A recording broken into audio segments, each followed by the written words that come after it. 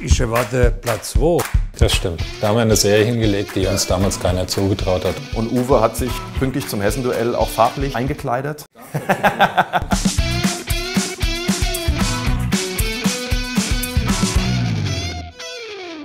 Die Rückrunde hat begonnen und wie? Zum ersten Mal seit 1999 gewinnt unsere Eintracht auf Schalke und steht in der Tabelle auf dem dritten Platz. Das wollen wir alles besprechen heute in der Krombacher Runde und wir wollen natürlich schon einen kleinen Ausblick auf das Hessenduell gegen Darmstadt werfen. Bei uns heute Sportdirektor Bruno Hübner, hallo. Hallo. Unser Kulttrainer Steppi, grüß dich. Servus. Und der Zauberfuß Uwe Bein, danke, dass du da bist. Hallo. Ja, Bruno, ähm, tolle Leistung am Freitag auf Schalke. Ähm, man kann ja sagen, für dich eigentlich ein perfektes Wochenende. Freitag Auswärtssieg, Samstag Geburtstag gehabt. Alles Gute auch nochmal nachträglich von dieser Stelle. Und ähm, wir haben uns nicht lumpen lassen, auch ein kleines Geschenk für dich, äh, selbst gebacken. Sehr gut. Ähm, wenn noch was übrig bleibt, kannst du es auch morgen mit in die Geschäftsstelle nehmen, kannst es Oder verteilen. ja, nachher, ja, so wie genau. du Also willst. Ja. mit. Wie Geschäftsstelle, wir sind denn da jetzt? Der Kuchen wird bis morgen kaputt. Ja, wir, ta wir teilen es, genau. genau. Ja, sag was, wie ist die Stimmung bei euch? Ja, die Stimmung ist natürlich toll. Ähm, Gerade jetzt im Auswärtsspiel, nachdem wir unglücklich in Leipzig verloren haben durch die Aktion von Lukas Radetzky. Ähm, ja, ist alles natürlich im Moment positiv gestimmt, muss man sagen. Und die Mannschaft hat es auch in Schalken ganz gut gemacht und äh, wurde wieder vom Trainer hervorragend eingestellt, sodass man jetzt sagen kann, wir haben die Rückrunde wirklich sehr gut begonnen. Das Tor nach einem Freistoßtrick, also nicht nur effektiv, sondern auch kreativ. Ist das auch so ein bisschen eine Rechtfertigung für die vielen Geheimtrainings, die es mittlerweile unter Nico Kovac gibt? Manche Fans, die sind natürlich immer ein bisschen traurig, dass sie nicht jeden Tag ans äh, Stadiongelände kommen können und ihre Stars hautnah erleben dürfen. Aber der Erfolg gibt euch recht. Das ist definitiv so. Deswegen auch die Geheimtraining. Und das ist äh, keine Ausgrenzung jetzt von den Medien oder den Fans. Im Gegenteil, wir wollen natürlich liefern mit Ergebnisse und die Stimmung gut machen. Aber wir tun einiges einstudieren. Der Uwe war ja mit gewesen in Abu Dhabi. Wir haben das auch in dem Freundschaftsspiel gegen den chinesischen Club ganz gut praktiziert. Und von daher ist der Überraschungsmoment schon da. Und wer die Bundesliga kennt, das sagen ja alle Sportdirektoren, Trainer, man kann gar nichts mehr verheimlichen vor andere Vereine. Und dann ist es schon wichtig, wenn du sowas einstudierst, dass das erstmal bei uns bleibt. Äh, Wird es umso schwer genug, jetzt erstmal wieder zurückzufahren, weil vieles wissen, wir müssen uns was Neues einfallen lassen. Aber das ist definitiv so. Deswegen auch schon das ein oder andere Geheimtraining. In den 80er Jahren gab es eine Fernsehserie, Money der Libero. Die soll jetzt neu verfilmt werden, aber unter einem anderen Titel. Makoto der Libero wird die heißen. Äh, Uwe, du so ein bisschen als äh, Asien-Experte, würdest du mir zustimmen, am Freitagabend Hasebe, überragende Leistung? Ich denke, Hasebe spielt die ganze Saison eine überragende Leistung. Mal jetzt das Leipzig-Spiel ausgeklammert, wo jeder so ein bisschen dann durch die Situation äh, ein bisschen von der Rolle war. Aber ansonsten Hasebe, denke ich, der Führungsspieler der Mannschaft, der genau weiß, die Position, die er spielt, geht er nach hinten, hinter die Abwehr, geht er vor die Abwehr.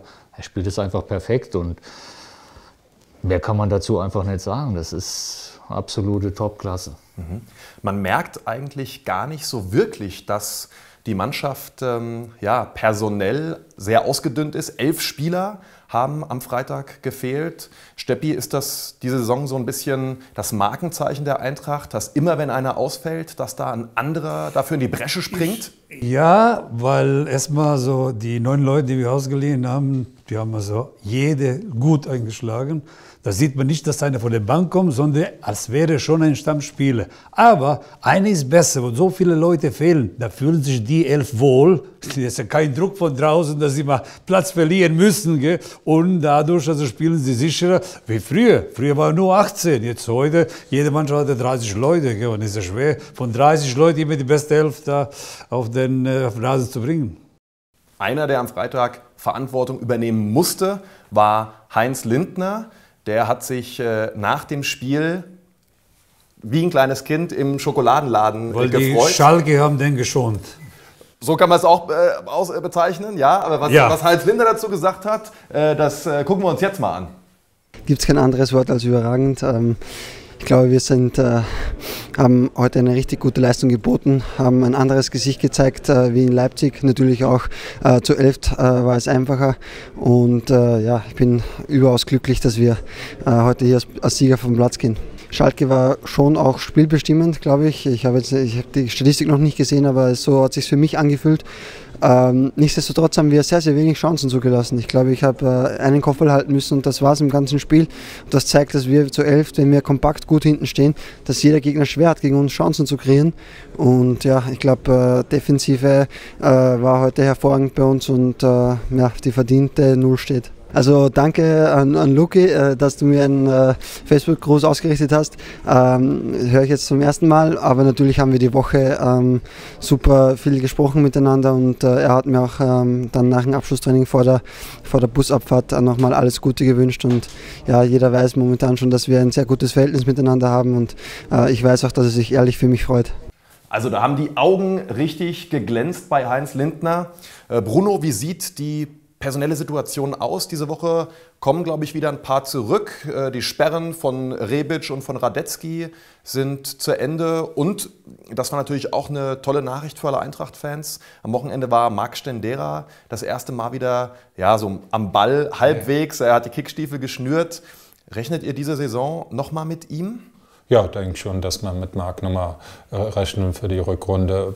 Er macht gute Fortschritte. Natürlich ist es das eine, die Fitness, die Gesundheit wiederherstellen, aber auch die Wettbewerbsfähigkeit. Da arbeiten wir noch dran, aber er ist auf einem guten Weg, sodass das schon eine Alternative sein kann. Ansonsten muss man sagen, im Moment ist es halt Rebic und Lukas Radetzky, die uns wieder zur Verfügung stellen. Aber Husti macht gute Fortschritte. Marco Fabian ist besser geworden. Aber das sind schon noch ein paar Fragezeichen dahinter. Mhm. Die neue Arbeitswoche hätte für jeden Eintracht-Fan nicht schöner beginnen können. Platz 3, auch durch die Ergebnisse der Konkurrenz so ein bisschen begünstigt. Steppi, was sagst du beim Blick auf die Tabelle? Ich, ich erwarte Platz 2, wenn das also so, so Saison läuft, wie es bis jetzt also gelaufen ist. Dann denkt man schon, also irgendwo an diese Zeiten, wo man immer wieder nicht nur zu Hause gespielt haben, sondern irgendwo Frankreich, äh, Portugal oder, oder, oder. Und dann also sind wie die frühere Zeiten, dass man also neben der Bundesliga auch so die eine von denen also Europä europäische Wettbewerbe drin sind. Ich glaube, die offizielle Sprache herrscht äh, noch ein bisschen anders. Ja? Das ist auch noch so. Aufgrund der Situation von letzter Saison, wo wir das, äh, die Ausgeglichenheiten auch im Kader nicht hatten und viele Verletzte hatten, die dann natürlich auch, wie Marc Stendera, natürlich schon die gesundheitlichen Zustand hatte, aber die Wettbewerbsfähigkeiten nicht hatten. Deswegen mussten wir auch innerhalb bei unserem Trainer Armin Fee damals musste immer improvisieren, Hasebe nach hinten rechts geschoben. Also er war eigentlich immer in einer Improvisationssituation. Das haben wir dieses Jahr nicht.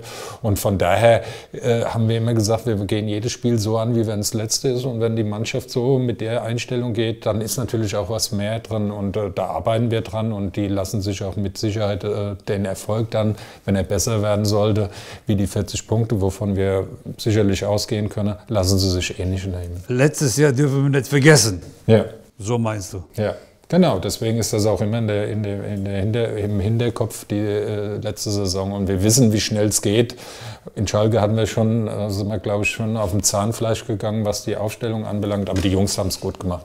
Also ich wünsche mir, dass er jetzt gegen Darmstadt genauso gespielt wird wie letzte, letzte Saison, diese drei Spiele, wo wir also da unmöglich gewonnen haben. Das stimmt. Da haben wir eine Serie hingelegt, die ja. uns damals keiner zugetraut hat. Und da arbeiten wir dran. Ja, Steffi spricht es schon an. Und Uwe hat sich äh, pünktlich zum Hessenduell auch farblich äh, eingekleidet. Ja. Uwe, was sagst du? Darmstadt am Wochenende? Das hat jetzt, der Pullover hat nichts mit Darmstadt zu tun. oh, da fehlen die weißen Streifen. Aber äh, gut, ich muss sagen, wenn man jetzt, das muss man mal zurückgreifen auf das Leipzig-Spiel, wenn man sieht, wie die Mannschaft auf das Spiel reagiert hat, wie man in Schalke aufgetreten ist, mit was für einer Sicherheit, man hat praktisch nahtlos an die Vorrunde angeknüpft, was die Leistung angeht, jeder einzelne Spieler. Und ich denke, wichtig ist, dass jeder Spieler im Kader die Meinung oder das Gefühl hat, er gehört dazu, er wird gebraucht.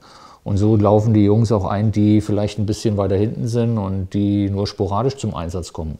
Und das ist, denke ich mal, eine große Stärke der Mannschaft. Und der Grundstein für eine gute Rückrunde ist gelegt und ich sehe dem Ganzen sehr, sehr positiv entgegen. Wollen wir mal auf Sonntag gucken? 17.30 Uhr, Flutlicht geht an, Hessenduell, da ist immer Emotionen, da ist Kratzen, Beißen, alles geben.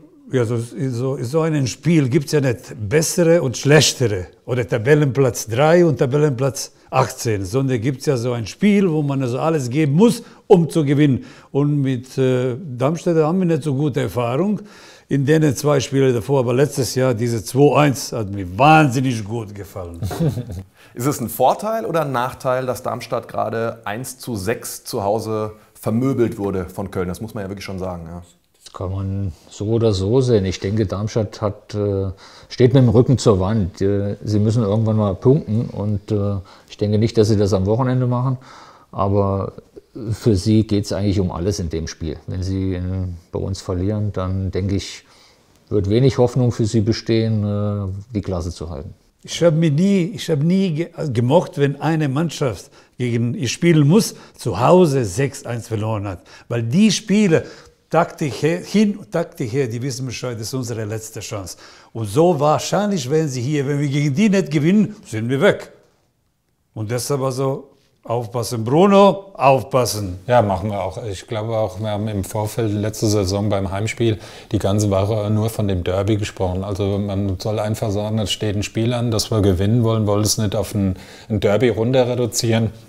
Und auch vor allen Dingen Tabellensituation ist völlig egal. Wir hatten auch eine aussichtslose Lage vielleicht letzte Saison und haben die Kehrtwendung geschafft. Also wir müssen ganz konzentriert in das Spiel reingehen, nicht so viel über das Derby sprechen, nicht so viel über die 1-6 Niederlage, sondern wir müssen den Gegner so annehmen, wie wenn der Tabellenführer kommt. Und das muss man machen. Und dann äh, bin ich bei, bei der Aussage vom Uwe, dass die Mannschaft wieder in die Spur findet und dementsprechend auftritt. Aber es herrscht jetzt schon ein anderer Druck als vor dem Schalke-Spiel. Ne? Da haben alle gesagt, oh, in Leipzig haben sie jetzt 0 äh, zu 3 verloren, vielleicht geht es jetzt bergab. Und jetzt erwarten ja die meisten Fans eigentlich schon, dass ihr die Lilien hier fast schon aus dem Stadion schießt. Ja. ja. Aber das ist verkehrt, genau das, der Ansatz ist verkehrt. Also wir werden, das wird sicher vielleicht auch ein Abnutzungskampf. Also wichtig ist, dass wir wirklich so auftreten, wie wir das gewohnt sind aus den Heimspielen. Wir haben eine Serie zu verlieren, unabhängig jetzt von Darmstadt. Wir wollen die gute Situation, die Tabellensituation weiter ausbauen und das ist, soll dem Fokus stehen. Und nicht das Derby und die Situation, vielleicht die aussichtslose Situation von Darmstadt und unsere gute Tabellensituation. Nein, wir gehen das Spiel so an, wie wenn es Tabellenplatz 3 wäre vom Gegner. Wir wollen gewinnen, wir wollen die Heimbilanz weiter ausbauen und dementsprechend bin ich davon überzeugt, dass der Nico wieder akribisch die Woche arbeitet, die Mannschaft einstellt, dass wir auch die Einstellung zu dem Spiel finden. Das hoffen wir alle. Vielen Dank. Dass ich wollte noch mal was sagen. Äh, wir sind ja eine Krombacher Runde. Wir verbinden natürlich auch Krombacher immer mit einer guten Tabellensituation. Sie waren ja schon mal Sponsor, da sind wir Sechster geworden, da waren wir europäisch, also es ist ein gutes ein guter Sponsor und äh, das haben wir auch im Hinterkopf. Das hören die bestimmt gerne, ja, und das äh, hören bestimmt auch die Eintracht-Fans gerne. Also gibt es gewisse Parallelen. Ja? Die Geschenke von Krombacher kommen. Ja. Alles klar. Wie auch immer. Beim nächsten Mal. Gut, dann vielen Dank, dass ihr Bitte. da wart. Bitte schön. Gerne. Und vielen Dank an euch fürs Zuschauen und bis zur nächsten Ausgabe der Krombacher Runde. Alles gut? Sehr gut. So, jetzt teilen wir den Kuchen, oder? Ich bin auf, ich bin auf Diät. das gibt's ja gar nicht.